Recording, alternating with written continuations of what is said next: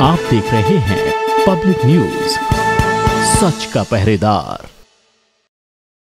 डोईवाला में समाजवादी पार्टी उत्तराखंड द्वारा आज डॉक्टर राम मनोहर लोहिया की चौवनवी पुण्यतिथि को सामाजिक न्याय दिवस के रूप में मनाया गया। साथ ही सपाइयों ने ओबीसी आरक्षण को बढ़ाए जाने की मांग की है। गोवा सत्ता महानायक रहे डॉक्टर राम मनोहर लोहिया की आज चौवनवी पुण्यतिथि है, जिसे सपा कार्यकर्ताओं ने न्याय दिवस के रूप में मनाया। सपाइयों ने लोहिया जी की तस्वीर पर पुष्प अर्पित कर श्रद्धांजलि दी, जिसके बाद डोईवाला उपजाधिकारी के माध्यम से राज्यपाल को ज्ञापन प्रेषित किया गया और सामाजिक न्याय के मुद्दे पर सुधार लाने के साथ ओबीसी आरक्षण बढ़ाए जाने की मांग की है। समाजवादी नेता, स्वर्गीय डॉक्टर राम मनोहर लोहिया जी की पुण्यतिथि थी।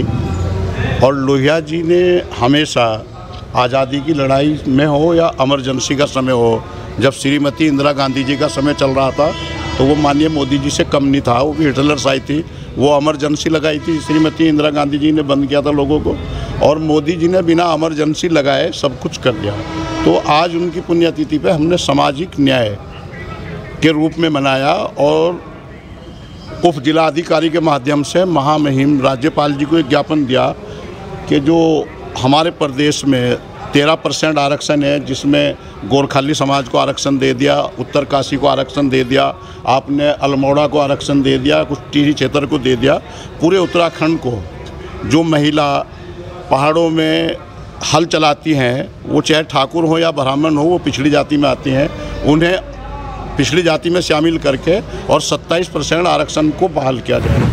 डोईवाला से जावेद हुसैन, पब्लिक न्यूज़, उत्तर प्रदेश, उत्तराखंड।